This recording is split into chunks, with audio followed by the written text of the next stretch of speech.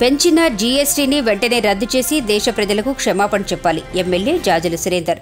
కేంద్ర ప్రభుత్వం ఇటీవల పెంచిన జీఎస్టీని వెంటనే తగ్గించి దేశ ప్రజలకు క్షమాపణ చెప్పాలని ఎల్లారెడ్డి శాసనసభ్యులు జాజుల సురేందర్ డిమాండ్ చేశారు. బుధవారం మండల కేంద్రంలోని అంబేద్కర్ చౌరస్తా వద్ద కేంద్ర ప్రభుత్వం ఇటీవల ప్రవేశపెట్టిన ఆహార ఉత్పత్తులపై విధించిన జీఎస్టీకి వ్యతిరేకంగా కామారెడ్డి ఎల్లారెడ్డి ప్రధాన రహదారిపై పార్టీ నేతలతో కలిసి ఆయన ధర్నా నిర్వహించారు. ఈ సందర్భంగా కేంద్ర ప్రభుత్వానికి వ్యతిరేకంగా నినాదాలు చేశారు.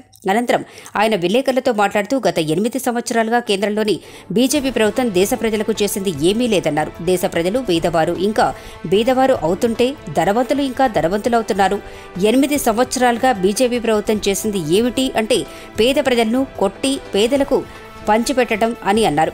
బీజేపీ పాలనలో ఆదాని అంబానీలకు తప్ప లాభపడ్డని ఎవరూ లేరని లాభపడ్డవారు ఎవరూ లేరని అధికారంలోని రోజున డాలర్తో రూపాయి మారక విలువ తగ్గిపోతుంది. అంటే దేశ ప్రతిష్ట పోయినట్టేనా అని చెప్పిన బీజేపీ నాయకులు నేడు రూపాయి మారక విలువ ఎనభై రూపాయలకు పడిపోయింది అన్నారు.